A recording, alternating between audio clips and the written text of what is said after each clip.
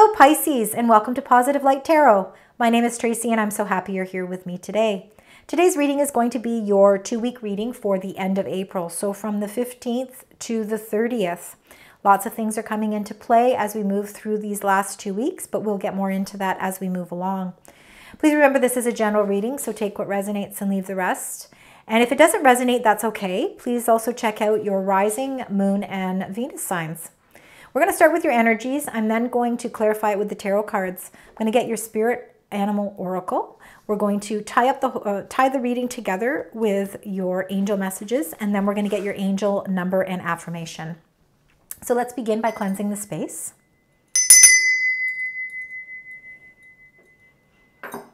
All right, so let's get right into this. We're going to start with your energies and then we'll go from there. So spirit angels and guides for the beautiful sign Aries.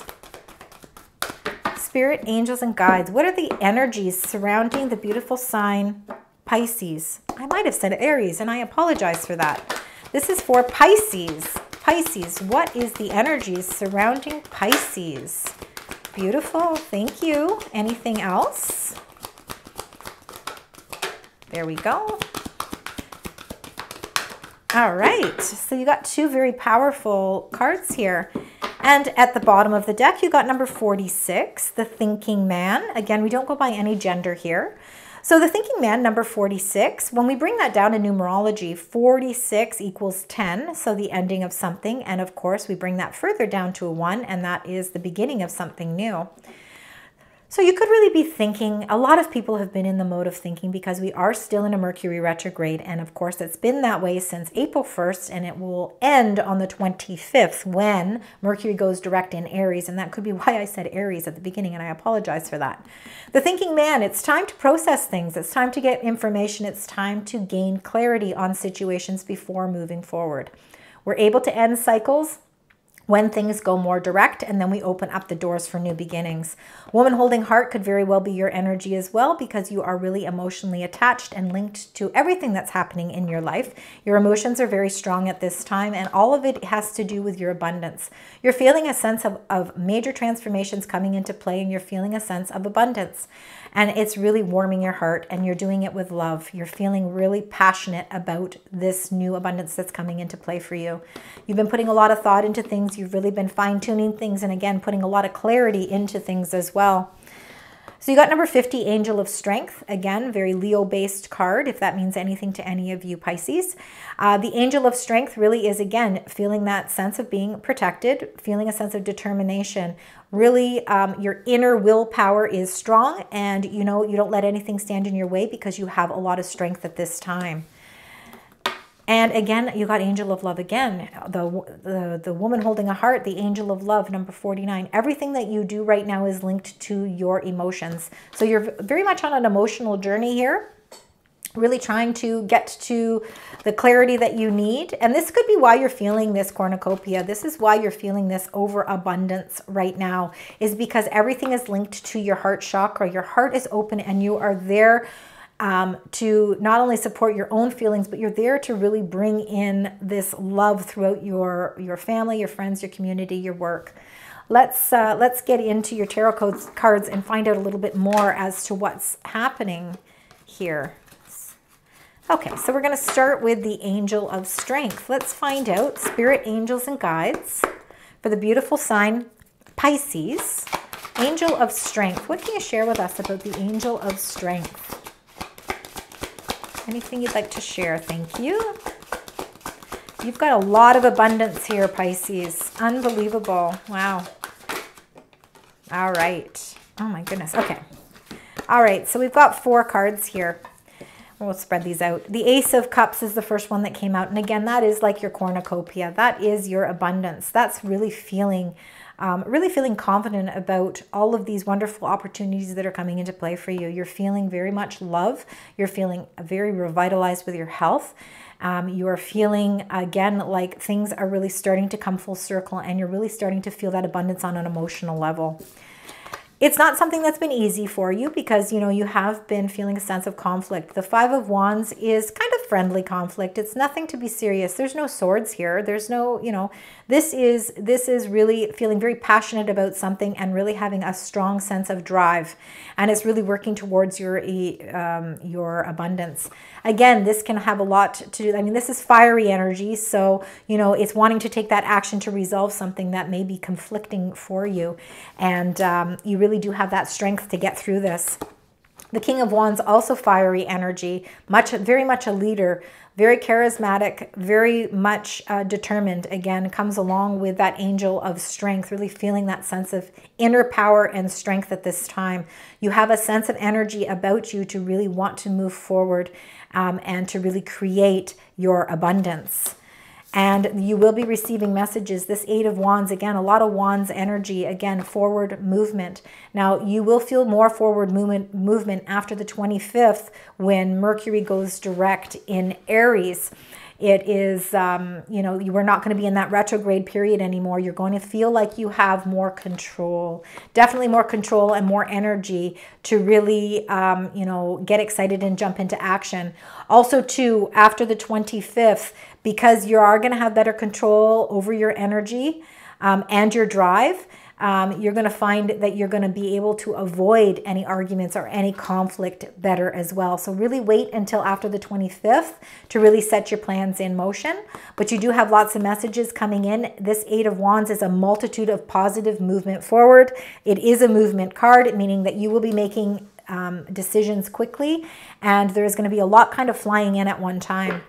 So let's get some clarifiers for this. We've got that Ace of Cups, Five of Wands, King of Wands, and the, the Eight of Wands.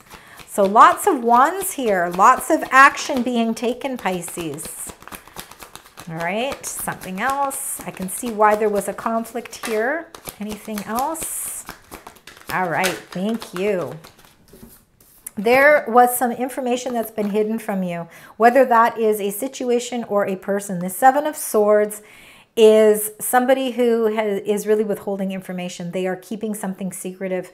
It's kind of a bit of a deception in, in a sense, and this is what you are conflicting with.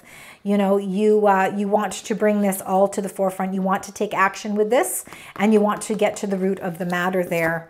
And, uh, and you also got number 12, the hanging man, meaning there's been delays or there is delays right now. And again, the delay is because you really need to wait until after the 25th of the month, because that's when all the truth is going to come to a head. Everything is going to come to um, to the forefront and you are really going to be able to move with confidence and with strength you have to wait for these messages to come in because those messages are what are going to help you to discover what this secrecy or what has been being withheld from you.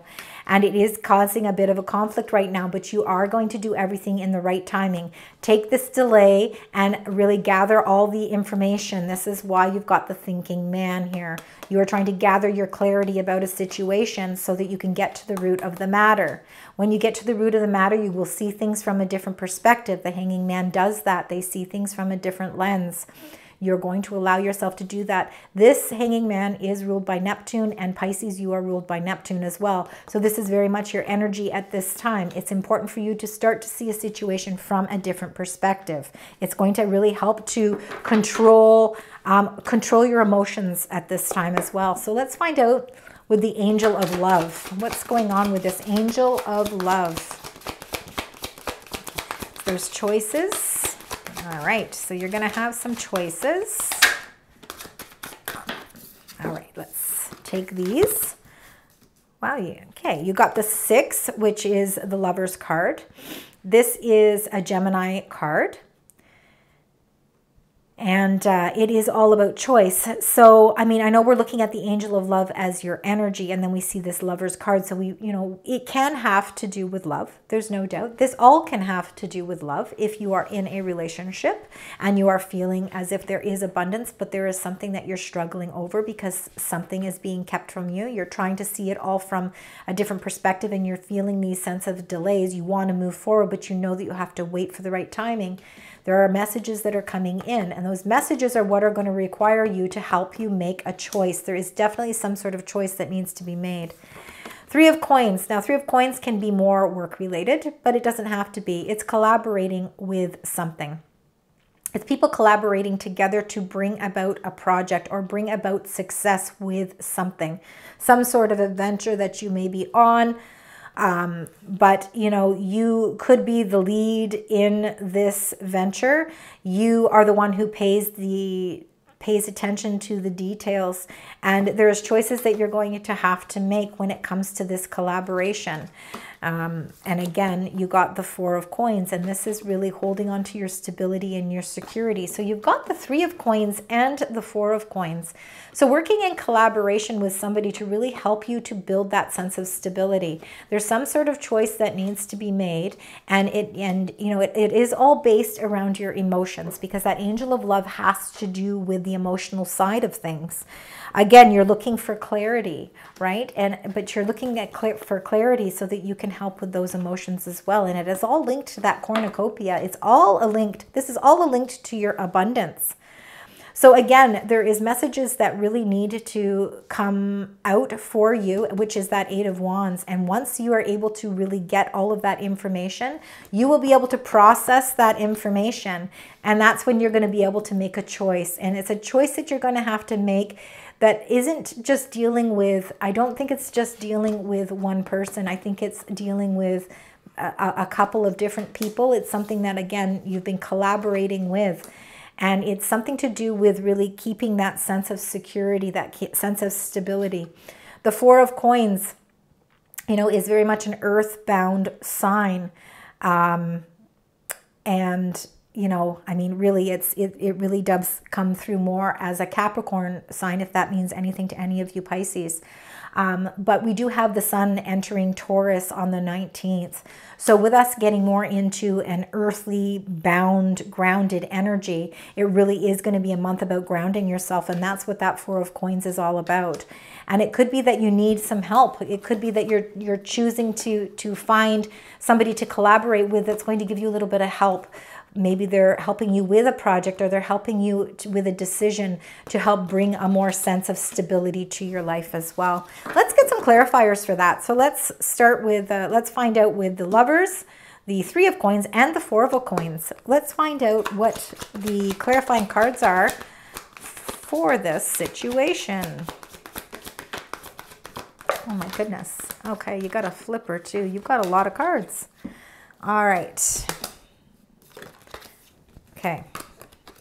Wow, you got cards that represent you, uh, that are very representative of this Taurus season. So number five, first of all, let's start with the first one. Number five, the Hierophant. This is definitely Taurus energy. This is really all about commitment. It's your morals, it's your values, it's, you know, having faith, whether it's in your spirituality or in your in your religion. Um, it's really a commitment here. So there's some choice that needs to be made. It's something that you've committed yourself to, something where you're looking for some wise advice.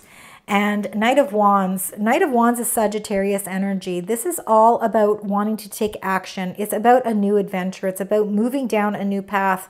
For some of you, it could be about travel. Um, but you know what? It's really about maybe moving in a new direction that, you know, you're ready to take action with something. You want to make this decision. You want to make this choice because you want to create that stability because the stability is what's bringing you your cornucopia. But you want to move quickly here but you're feeling very burdened. And the burdens, I think, are coming from, of course, these secrets that are being kept, something that hasn't come out out um, in the forefront.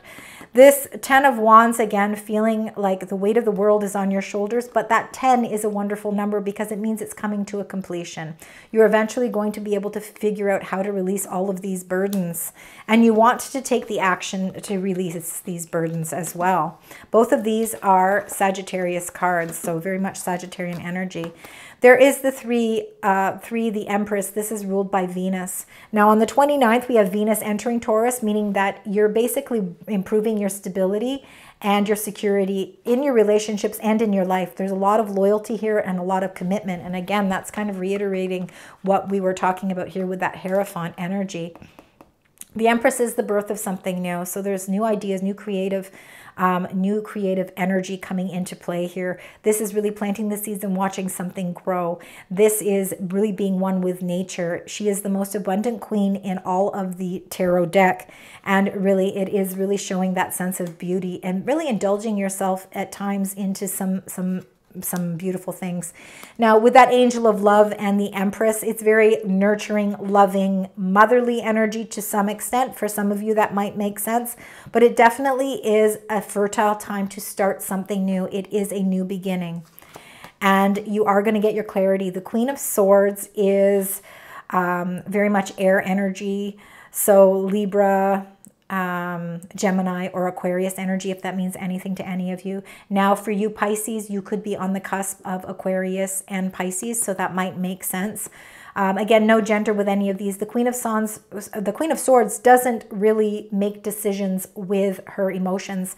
And what this is saying is that, you know, she's very intuitive, she's very intelligent, and she's a no-nonsense queen. She's not going to put up with any she's really not going to put up with any nonsense at all. Um, so she's going to look at situations as they need to, to, as they squarely need to be. She's going to look them right in the face and she is going to deal with it. And it's really going to help you to be decisive when it comes to um, this lover's card having to make some sort of choice. There's a choice that will have to be made, but you're going to get to the truth of the matter because she cuts through the truth. She gets to the truth. There's breakthrough moments here, and this is all going to help you to evolve and to bring in some new beginnings, to end out old cycles. And again, ending old cycles around the full moon, which is on the 23rd of the month, and it will be in the sign Scorpio, is going to be a time for you to take your control back. This is going to be the time where you are, you know, know that you need to address things that are that might be serious that need to come to a close. And that could be closing out cycles with situations or people that have been keeping secrets from you. You will no longer feel delays. And, uh, and you know, after that full moon, and then, of course, Mercury going direct on the 25th, you're really going to start to feel like things are starting to move full force and into action. You're going to see the movement of that Eight of Wands really starting to take place. So let's get your spirit animal card. Let's find out what that is. Let's find out the animal that is watching over you. It's the dolphin. It's time for play. Swim in the happy joy of living. Inhale confidence and exhale fear. Drive into your wisdom. Go with the flow. Beautiful. You are very wise. You're also very intuitive, so your intuition is never going to let you down. Make sure you're always trusting in your intuition. So let's find out as we um, as we begin to close out the reading. Let's find out your angel messages that tie this entire reading together for Pisces, please. Thank you. If I can get one more, thank you. Beautiful. All right. So you got five of Ariel. You needn't go through your current challenges alone, and you do have a support system. We have that here. Help is nearby. Negative thoughts create self-fulfilling prophecies. So keep positive. Don't allow any negative energy to get inside your head. Eight of Ariel, take great pride in your excellent work. Practice makes perfect. Consider getting additional education or training. So, you know, you're really educating yourself at this time. So even if it's not, um, you know, maybe even if it's, it could be that you're just gaining more knowledge as well, like that thinking man here in the beginning. And then the King of Michael you got as well. So principled, rational, ambitious, and respected. Wisdom and objectivity are important now. Stay in your integrity, a situation that calls for honest and open communication. And that's going to come into being when you're able to release that Seven of Swords energy. And again, it'll be more around that full moon when um, when old cycles are closed out and new beginnings come into play. Um, some of you could actually be embarking on a new journey. With that three, uh, the Empress, this is really birthing something new. Some of you could be looking at um, educating or getting a certificate or starting some sort of new project that really requires you to give a little bit more thought to things and you know you're really um, gaining more um, knowledge. So beautiful energy. So to end your reading, let's get your angel number and the and the message linked to it. So spirit, angels, and guides. What is the number and the message? Beautiful. I am courageous. Number 99. Beautiful number. It is time to get to work on the realization of your soul's mission in life. You have a higher purpose in this life that is yours and only yours to fulfill. Unleash your true power. I am courageous. So your uh, angel number is 99, very auspicious. If you see any synchronicities of 99, it is your angels trying to get your attention to let you know that they are there with you. You're never alone. That's all I have for you, Pisces. I hope you enjoyed your reading. And if you do find that parts of it resonate with you, please leave comments. I love to read them. Please also consider liking, sharing, and subscribing to my channel. It doesn't cost anything, and I really do appreciate the support. Until next time, sending you love, light, and positive vibes.